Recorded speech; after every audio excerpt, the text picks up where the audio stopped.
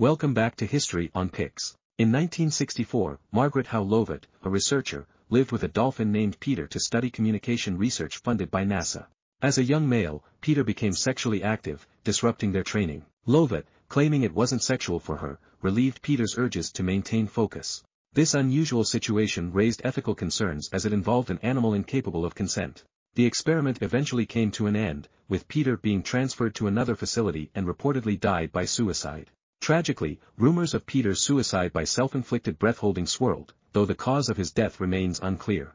Lovatt's story highlights the complexities of animal interaction and the blurred lines when studying intelligent creatures.